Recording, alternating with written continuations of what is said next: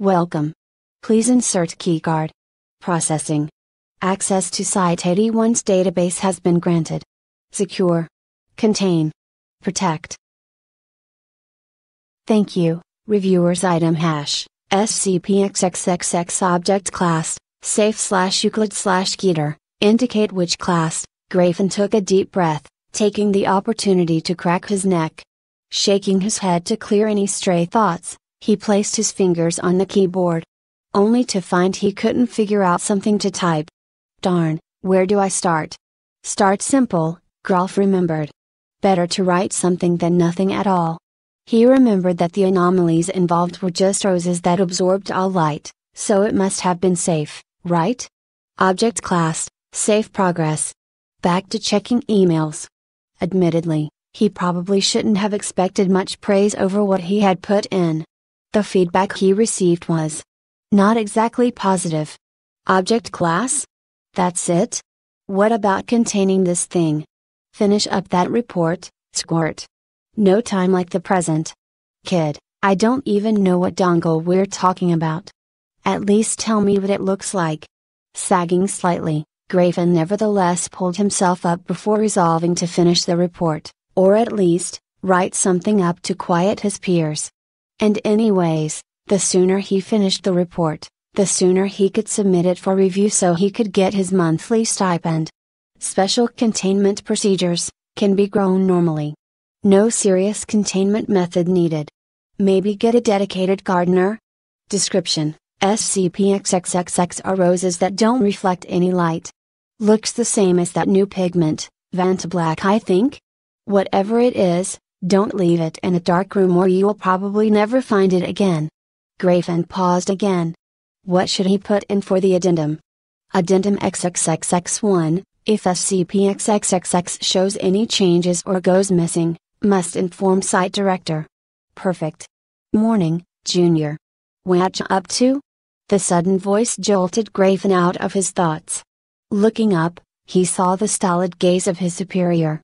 Researcher Kuru. He'd heard rumors about the bug obsessed researcher, she had revolutionized organization methods for the entire Foundation, and was widely acclaimed for that. He'd idolized her ever since. The researcher, he could see a level 3 clearance badge on the front of her shirt, bent down, eyes narrowing slightly as she skimmed over the report draft before her, before she pursed her lips. Is this your first official report? Grafen winced internally. That couldn't be a good sign. Yes, ma'am. I'm building upon the framework I've made. She nodded, before walking off. Once she was out of eyesight, Grafen let out a shaky breath. He hadn't felt that anxious since he first stepped foot into the building, however surreal this all still felt to him. As he focused back on the computer in front of him, he heard her voice ring out one more time. Make sure it sounds clinical in your final draft. We are a professional organization, after all. Special Containment Procedures, SCP-XXXX requires standard maintenance procedures as per the Maintenance of Non-Anomalous Angiosperm Protocol. Additionally, SCP-XXXX should be situated in an area surrounded by light to prevent possible loss of the anomaly. So tell me a little about yourself, Grafen. Well, I was studying BME in university. Rambling on, he couldn't tell if the researcher before him was genuinely listening, or if she was just being polite and pretending to care. Truth be told, he didn't even know why she offered to have lunch with him. That's nice and all, started Zen, swallowing her sandwich. But what about you? Any interest of your own? Grafen opened his mouth, ready to protest that BME was his interest, but stopped short. He didn't want to aggravate his idol so early, not when she had given him the opportunity to distinguish himself from the crowd. He craved recognition. I guess you can say I like to draw. Seeing her eyebrows raise slightly, Grafen pressed onward. Nothing major, you know? Some odd doodles and whatnot. He was a bit disappointed at her lack of reaction, he wouldn't call himself a prodigy or anything, but at least hoped to find any sign that he had left a lasting impression. How's your report coming along? Her sudden words jolted him out of his thoughts. I. Well, would you like to see the draft? I'm not exactly good at explaining it. Pulling his laptop out, he was surprised when Zen simply shook her head. If you can't explain it to me, how do you expect me to believe your draft is any better? Grafen flushed. I dot well dot what if I'm just not good at speaking? I never said you had to verbally express it, she rebutted, a ghost of a smile on her face. If you're capable of writing the general gist of your pitch, that's fine as well. Huh? What's the point of writing that if I'll end up writing the draft anyways? To his surprise, she didn't react, as though she had been expecting that answer. Instead, she just passed him a note before picking up her stuff and heading out. Head to room 115, Race's Intersite Resources Room. Ask for the Butterfly Squad roster. Grafen was thoroughly embarrassed, to say the least. What he thought was some top secret thing that he could access because of Zen's possible favoritism was instead a simple writing room filled with some fellow interns of his, and where their seniors walked around the room, giving critique. The welcome sign wasn't much more inspiring, either. Welcome to the roster's meeting room, though I guess you can just call it the forum like the rest of us. While we are not cruel, we do not coddle. But, we are here to help. I still don't understand why I have to come up with a pitch before writing a report, Grafen muttered. The woman looking over his shoulder chuckled. We get a lot of reports where the people have no clue what they're writing about. Sure, you might not think you're one of those people, but hey, we live in a world where memetic concepts can reshape our identities. Zen got tired of us pouring through tons of shitty drafts where the JRs kept going off topic or giving tons of redundant crap. And here we are now. Seeing his perturbed look, Oak continued. After all, does it really matter that your walls are 12.34567 centimeters thick? Will the anomaly erupt in fury if we were an nanometer off? What about containment cells 500 meters tall to contain a humanoid? Or what about drafts with needless filler to look bulkier than it actually is? She sighed, taking a deep breath. Sorry, got a bit ahead of myself there. The point I'm trying to make here is, people just tend to make mistakes or absurd reports. We're hoping to help people catch those mistakes early on so it doesn't detrimentally affect the reports, or our budget. But I am different, he wanted to say, but he bit his tongue. Shaking his head, he just huffed before gripping his pen. After scrawling out two sentences, he stood up and walked out. I'm gonna go to the recreation room for a bit. The anomaly is a species of roses that absorb all light. That's it. Matthias's eye twitched as he read the simple concept. Guth, he began slowly. While I acknowledge your frustration with our system for reviewing people's pitches before allowing them to write drafts, is this tongue in cheek tone really necessary? Christ man, I just want to write the fucking draft. I don't understand the need for all this, retorted Grafen. You're just here to critique my stuff before I hand it in, right?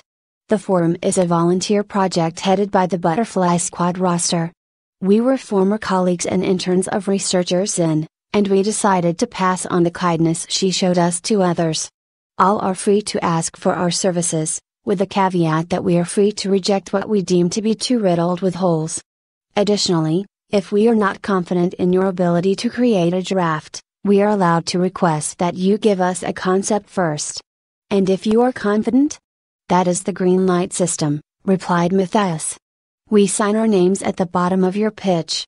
Upon receiving two signatures, it is an indication that we have placed our faith in you that you can at least make a semi coherent draft that'll be well received by whatever peer review board you happen to land when you submit the piece. Grafen bit his tongue, seething. Giving a jerky nod, he swiftly walked out, taking his concept with him. After he had walked out of the room, a woman poked her head out from one of the cubicles. Let me know if we need to keep an eye on him. Don't worry about him, Zen. At least this one didn't insult anyone on the squad. SCP-XXXX is a subspecies of roses that absorb all light that hits it. Draft will include standard containment protocols akin to containing normal plants, discovery, as well as various tests involving the anomaly. So what's the story involving this SIP? What? Another thing to add on? Grafen was not amused. As much as we hate to admit it, our researchers are only human.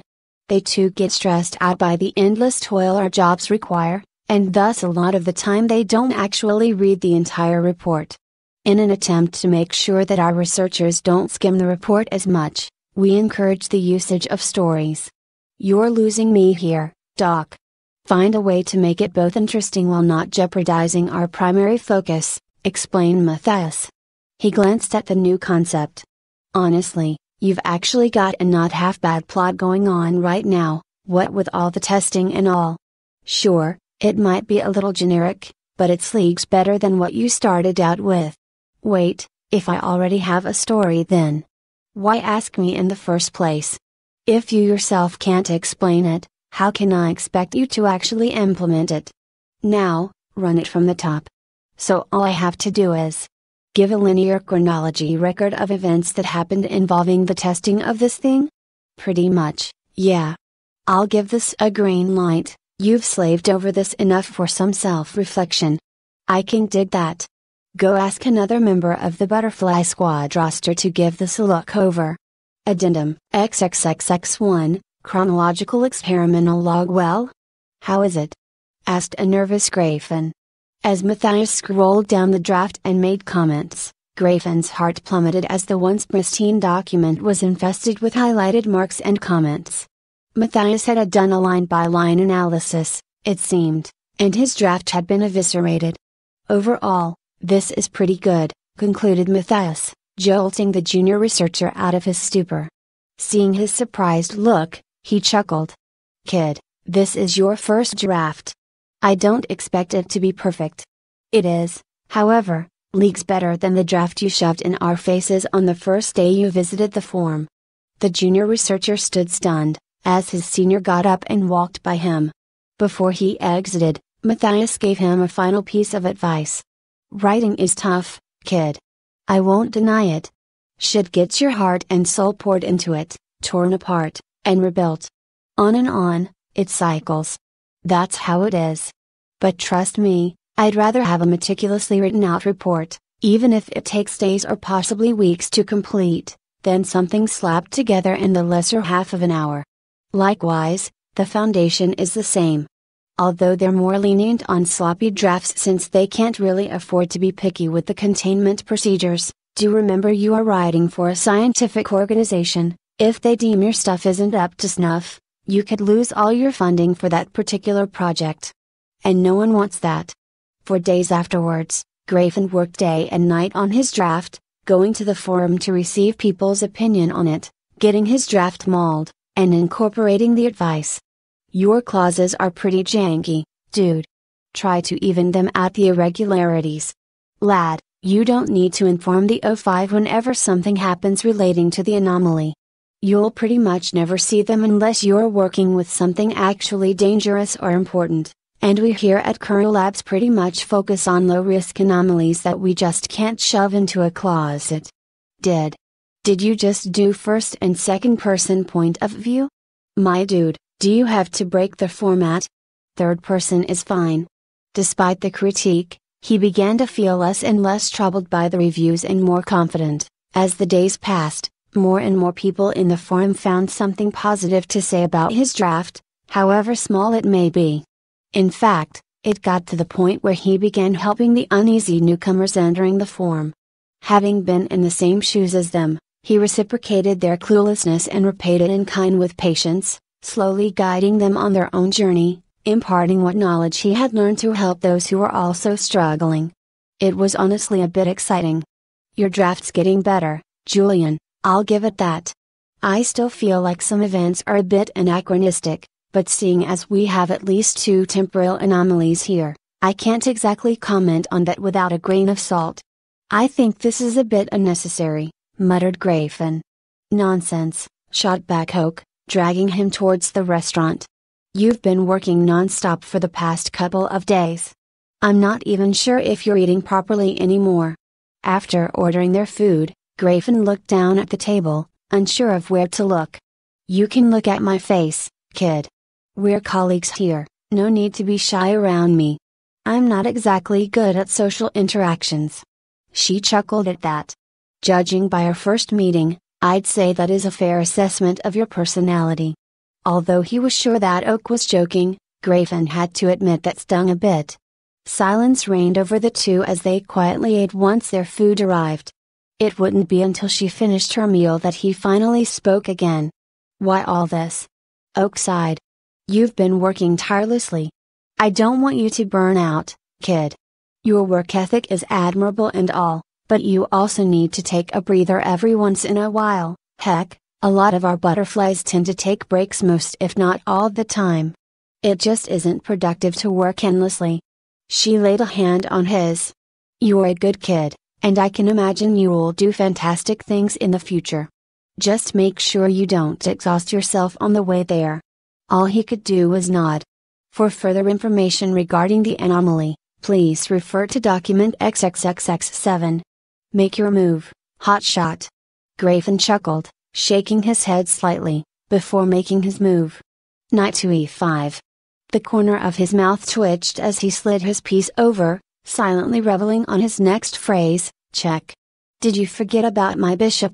Shot back Oak. King to c3. Checkmate. Grafen cursed, turning red. He had been too narrow minded, for the eighth game in a row. Those damn pieces were just too small for him to notice. Man, you're pretty bad at strategy games, huh? She jibed. I'd crush you in checkers he retorted. She cackled in glee at his statement, taking out the board game from underneath the coffee table, taunting him with a grin. Bring it on, Junior. After a few rounds, Grafen glanced at the clock. Huh, it's about 4 p.m. I better work on that report. As she stood up, Oak pulled him back down, her face losing all previous signs of mirth. Today's your free day, just stop worrying about that draft. But but nothing. I see you cramped up in your cubicle all day whenever you're not doing testing and it's fucking aggravating, you know? I warned you about burnout and look at you now. You're still spending every damn waking hour on that report. She sighed. You have a life outside of that document, Grafen. I can't speak for other facilities, but here, we can afford to relax a bit. Since we're still doing testing, we're still getting paid and our anomalies aren't nearly as dangerous as others are, meaning we can afford to hand in reports several months late. In real life, we already know how to contain this thing.